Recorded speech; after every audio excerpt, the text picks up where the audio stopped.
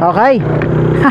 Good morning mga katribo, it's me, Aaron TV and welcome back to my channel. Kapag bago ka dito, please like, share, and subscribe to this channel. Ha! Whew! Morning, good morning. Maaga na, tanghali na pala.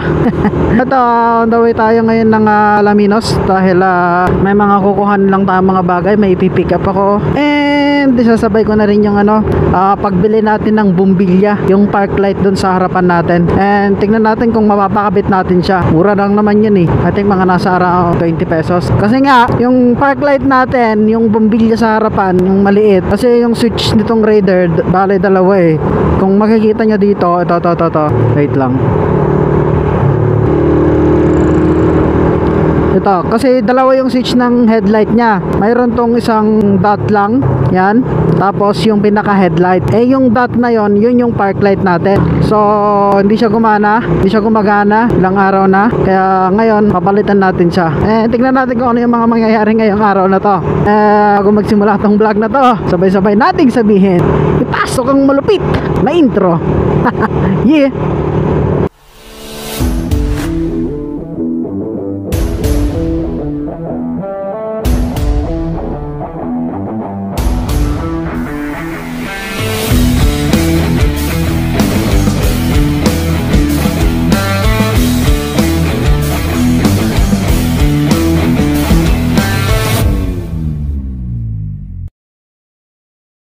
Yan.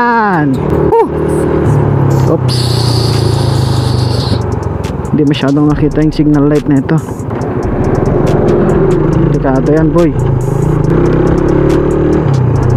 Okay, ito nga pala.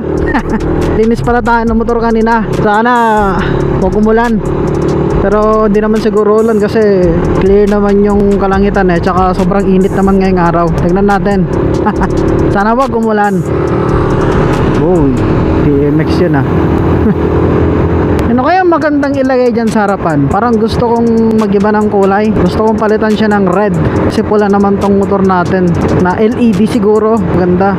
Ah, sige, mamaya na lang ulit mga katribo kapag ah, nakarating na tayo ng ah, Alaminos. Sige! Kita ko na aksidente oh. Dito sa crossing na to. Tapos doon ako tumapon oh. Okay. Dito na ngayon tayo sa Alaminos. Yes sir. Paghahanap muna tayo ng motor shop na may bulb na ganun sa harapan natin. Tataka siguro kayo no. Ba't ba to? Ito yung mga maliliit na mga pag-ayos sa motor niya, binablog niya.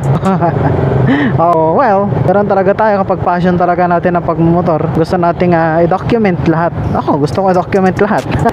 Bakit ba? Kanya-kanyang trip yan, di ba? Hindi ko kayo pinipigilan. E di, wag niyo rin akong pakialaman, di ba? Uy, FI. Parang sinisinok tong motor ko. Naayos ko naman yung carb setting nito kahapon. Kaya lang, wala eh, ganun pa rin eh. Tika na boy. Parang kapag i-ratein mo siya pagka cambio mo, parang humihinto siya, parang ganun. Ewan ko. Pa-check na lang natin sa kasa kasi baka pangit yung pagkakatune ko dito sa carb natin. Traffic Gaming. Ah, sige mga katribo, mamaya na lang ulit.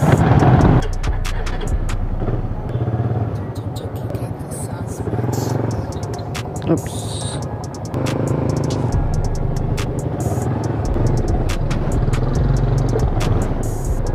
Pang hindi magkasya. okay, so ito ngayon, ah, ano na tayo ng bulb. Tapos lang natin kumain. Huh, ang init, buddy. Yung mga nakakainis dito sa mga tricycle driver dito sa Alaminos, no offense tayo ah, kasi hindi naman lahat. Pasok sila ng pasok. Nadali na nga ako eh. Yan, nung na-aksidente ako. Yung tinuro ko kanina, doon na part. Hay! Ingat-ingat din po tayo mga manong driver, no? Saan kaya tayo maghahanap nun? Meron akong binibilahan ng bulb dito kasi parang napundi yung, yung tail light natin. Doon din ako bumili. Puntahan natin baka meron sila doon. Kung may choice naman ako na mag-LED ng park light, edi why not? Subukan natin, di ba? Punta tayo doon sa shop na yun. Ayan o, tignan mo yun o. Dito yun o. Alaminos, lagpasan mo lang yan sa SI. Makikita mo tong crossing na to. Tapos dito na yun. Ah, Jernixon. Jernixon. Tanong lang tayo kung meron. May bombilyo po kayo dun sa park light po ng Raider. Maliit lang po. Ay wala pa. So wala daw. So tayo maghahanap nun. Doon tayo sa kabila. Try natin.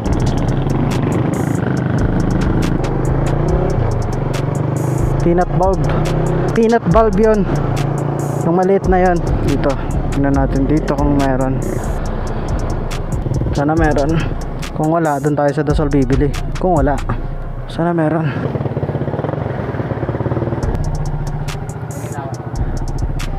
Meron po kayong ano, yung peanut bulb po sa ano, park light po ng Raider.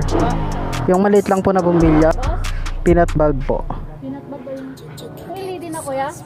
Hindi yung bumbilya lang na ano. Dinari lang? Saan dito? Ano yung mga peanut dyan? LED na ito. Ito hindi. Ay. Meron kayong pula nito? Yan kuya? O parang ganito. Hindi ba malakas sana yan? Dito nga. Pwedeng pasubok. Pero ito lang yun eh. Yan. Kuha na lang ako ng isang ganito. Yan. Pula. Lalakas siguro kapag malakas din yung battery no. Mahina na yung battery nyo kaya ganyan. Ay, pinang-testing lang. Magkano yung dalawa? Pa, 30. Kuya, ano? ito oh. Thank you po. Yan ako, hindi rin mainit dun ah. Okay. So ito yung nabili natin. So dalawa yung binili natin. Mo yung itsura nun, maliit lang siya eh. Naputol na siya kasi. Kaya yun. So ito, dalawa yung binili natin para meron tayong reserva no. Same din naman na pula yan. Tingnan na lang natin kung anong mas maganda. Ay! Tapos mamaya sa bahay yung installation. No, mga katribo. So, mamaya na lang ulit kasi may bookings din ako. Balik na lang ako mamaya kapag nasa bahay na mga katribo no. Sige! A few inches later. Okay, so what's up mga katribo? Andito na andito, andito na kami ngayon sa bahay. Ako pala, andito na ako ngayon sa bahay. Shout out, may baka. Kasama natin si Princess. Siya ang magbibideo sa atin. Hello mga katribo, what's up? So ang tools na gagamitin natin para baklas yung head nitong raider natin ay screw lang. Pero may babaklasin pa kasi dito sa ilalim. Yan. So yun yung babaklasin natin. Kaya gagamit tayo ng size 8 na tools yun. So ito yung susubukan nating mga peanut bulb dito sa ating park light. Yan. Okay, so mga katribo, so ang gagamitin natin tools para mabaklas tong head cowling natin, gagamit tayo ng screwdriver, syempre, ah, tong size 8 na wrench para dito sa ilalim ng cowling natin. Okay, so ayan. Baklasin natin. Ay, baligtad.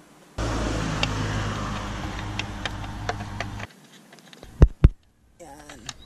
So, naalis na natin yung dito sa ilalim. So, titignan nyo lang palagi yan kapag babaklasin nyo yung head cowling nyo. Kailangan ting malis yung tornilyo dito dahil may tornilyo rin siya dito sa ilalim. Tapos, itong andito sa side.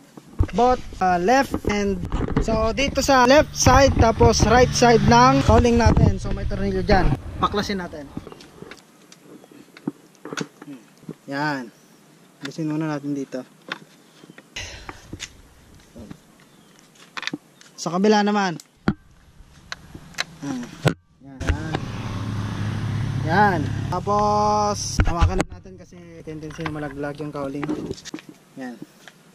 Tapos, alisin natin.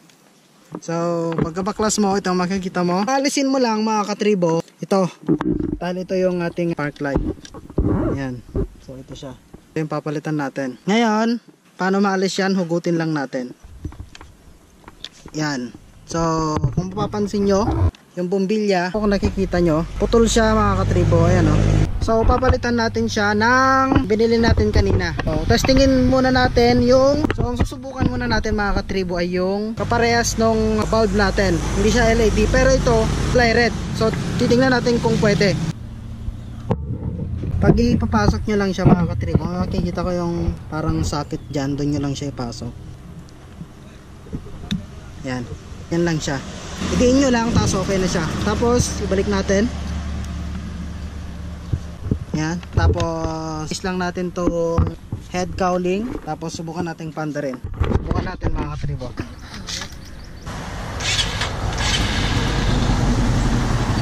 so switch natin. Yan nakikita nyo ba? Ganyan ang itsura niya oh. Maganda di ba? Parang orange orange type. Yan. Ngayon subukan naman natin yung LED sinong mas malakas? Baklasin lang ulit natin yon then same pag pa rin. Ito namang LED ang subukan natin mga katribo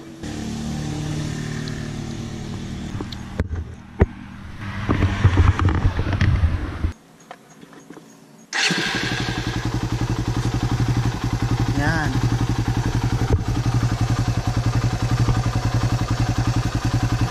so gumana so obviously hindi gumana yung LED ayusin lang natin konti. Ayan so inayos ko lang ng konti. Try, try ulit natin mga katribo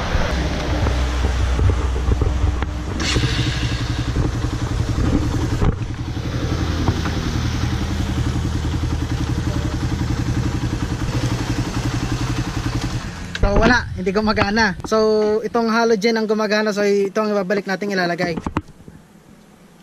Okay, so balik natin tong head cowling dahil hindi gumana tong LED. Ewan ko kung anong nangyari dito. Subukan ulit natin yung halogen. Yan. Yan siya mga katribo. Yan. So angas naman yan.